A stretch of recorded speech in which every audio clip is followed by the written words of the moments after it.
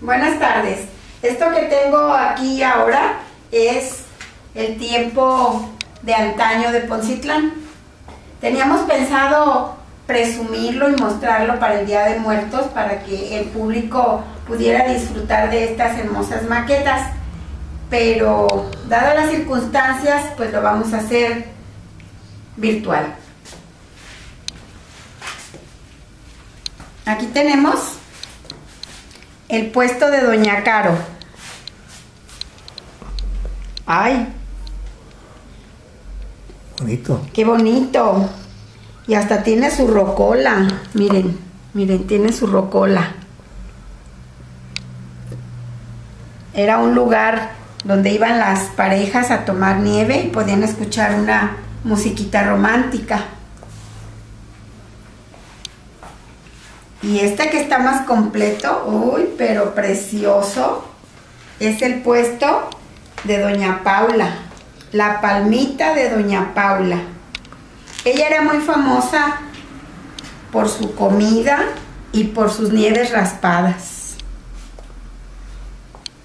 Y además ofrecía lectura para que las personas tuvieran un entretenimiento mientras disfrutaban su nieve o simplemente las personas iban a leer. Y aquí están sus vitroleros. Este me imagino que es de leche, ¿no? Sí. Ay, el agua fresca, de limón, de leche, de fresa Las y revistas. de piña. Las clásicas. Las revistas clásicas, Chanok, Archie, Calimán, Lágrimas y risas. Lágrimas y risas. Ay, esa toda la gente la leía en ese tiempo. Todas las novedades llegaban cada semana ahí y ahí llegaban los Las lectores. últimas revistas siempre estaba ella al día con lo que había de lectura en cómics. Y además podían disfrutar de la cena, tostadas, pozole. ¿Qué más vendía? Churros. Y su nieve raspada, famosísima por su nieve raspada. Todavía la gente hasta ahorita disfrutan de ver esto y se acuerdan de los sabores de las nieves de Doña Paula. Enseguida Mocambo. Mocambo. Por lo que veo en las mesas, yo me imagino que este era un lugar como más para los señores. Y señoras, era un restaurant bar. Restaurant, bar. El de allá era para, para novios y parejas. Y este era para señores y señoras. Así es. Y acá tenemos Casablanca. ¿Quiénes iban aquí a Casablanca, Raúl? Pues iban parejas, iban, era un restaurant bar también.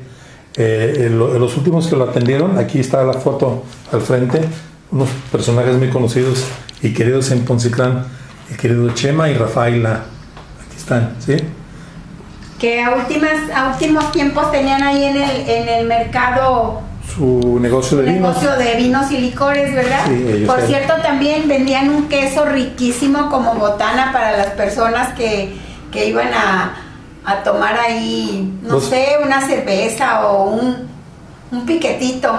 Lo siguen vendiendo, sus Sí, hijas. sí, pero ellos eran famosos. A mí no me tocó conocerlos ni tratarlos personalmente, pero Esto estaba en la parte norte, allá al fondo De la plaza. de la plaza, donde ahora están las fuentes. donde ahorita están las fuentes. Ajá. Aquí hay algo interesante, en la parte... Eh, en la parte de posterior. sí posterior del de la palmita de doña Paula estaba la exhibición del fotógrafo don Victorino Pues Oye, exhibición y era lugar de... de entrega y de No, tomas Y de tomas, él Ah. tomaba las fotos aquí. Y aquí por qué estás de cabeza Bueno, don, Ah. Victorino tenía una costumbre, el de que cualquier persona que le debía algo o no, o no iba por el trabajo, los que no pagaban la foto la foto los ponía de cabeza, para que las personas se dieran yo, cuenta que no habían pagado Soy yo, soy yo. Y eso con toda intención lo pusimos, me puse de cabeza porque yo le debo todo lo que soy a don Victorino.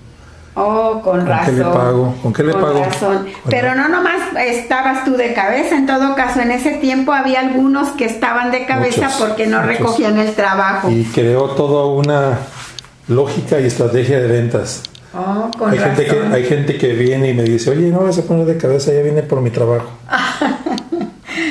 El área de trabajo de Doña Paula, Sí, sus, sus ollas del pozole. sí es. No, sí.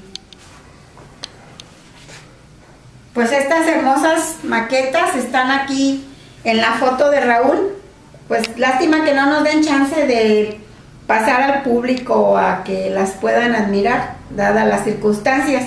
Pero ustedes se van a deleitar bastante viéndolas en forma virtual. Muchas gracias por su atención.